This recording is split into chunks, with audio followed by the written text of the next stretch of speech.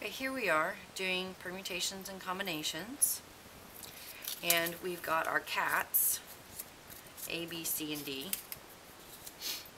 And in this case over here,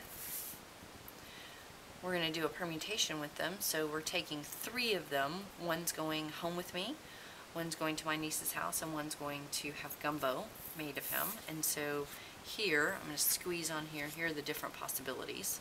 So my, my goal is to get the number 24 because this is, really means how many different ways can I choose out of four, three things. And over here, I have four. So that's the difference. The combination, I'm just going to choose the three cats and put them in my car and take them home. And they'll all be my pet. So those, that's what I'm working from. And I want to do these side by side because we're going to compare the formulas. So notice I have highlighted here the only difference between these two formulas is this added little extra bit.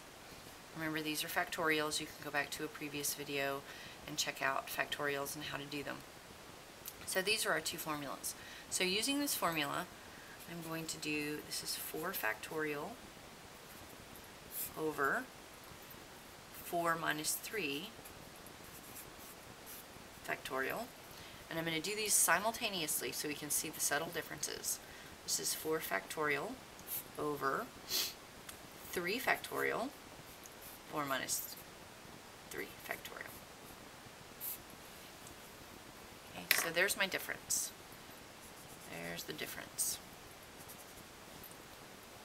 I'm going to get rid of my formulas now that I have used them.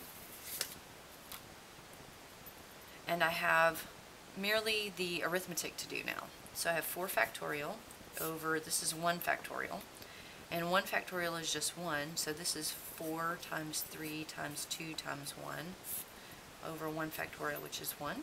So this is 4 times 3 is 12 times 2 is 24.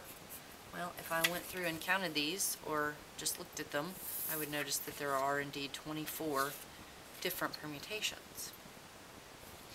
Doing the calculations here, I have 4 factorial over 3 factorial, 1 factorial. I'm going to put little dicky-doos on that so we can tell the difference.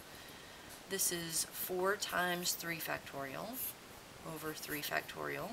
And 1 factorial is just 1, so I'm going to go ahead and stop looking at him.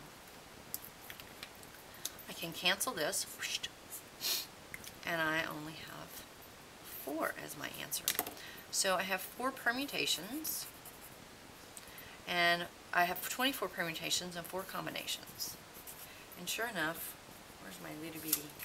Here's my four guys versus this amazingly huge thing over here. That was the 24. So that's the subtle difference in the actual calculations and the previous video showed how we arrived at these different types of writing out of the letters.